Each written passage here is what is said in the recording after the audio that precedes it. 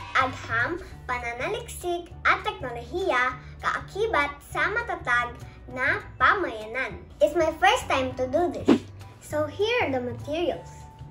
Illustration board, markers, pencil, oil pastel, eraser, rulers, and something to trace with. So let's get started! First, I will put the borderline.